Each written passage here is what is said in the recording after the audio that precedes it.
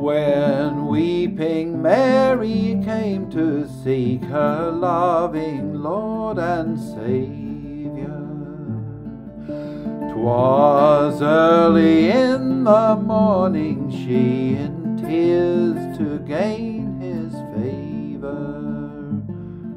With guards and soldiers placed around the tomb that held the body of him whom she thought underground by wicked hands all bloody. But how her aching heart was torn to find the tomb was empty.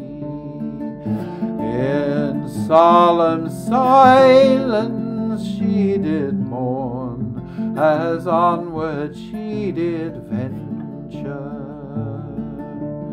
'Twas angels in bright raiment shone imagined her sorrow and said, Why does this creature mourn? And why this gloomy horror? Whom seek'st thou, Mary? They did say, and why this solemn mourning? Because they've took my Lord away, I thought to see this morning. He's standing by her, though unknown. She thought it was the gardener.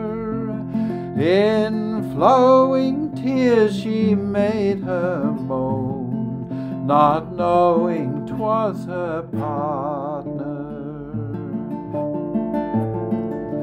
I'll grieve then, my poor Mary said, till I know where they've laid him.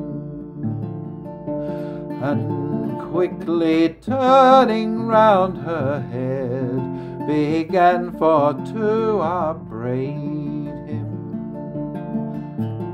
Whom seek'st thou, Mary? said the son.